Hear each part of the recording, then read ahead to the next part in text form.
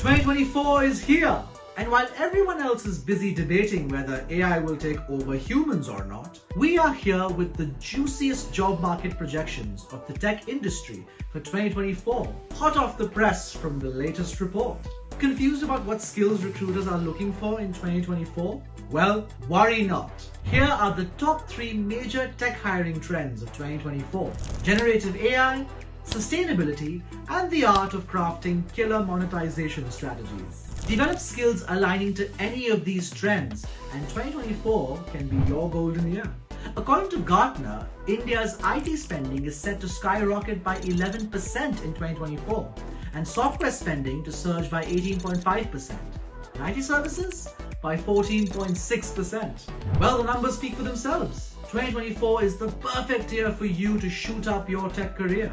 Now, let's have a look at how Global Capability Centers, or GCCs in India, are shifting gears in a major way.